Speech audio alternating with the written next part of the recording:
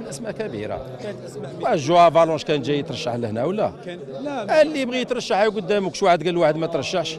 آه، عاهدنا عاهدنا.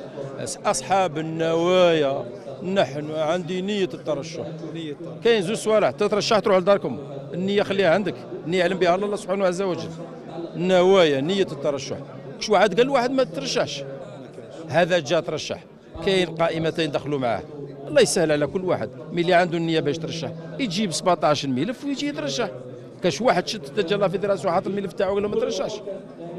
هذا يعني سي سي عمار شرف الدين ترشح وحط الملف تاعو. مبروك عليه. لو كان جا واحد اخر ها واحد جا حط الملف تاعو ورفضوه له. شو واحد قال له ما ترشحش.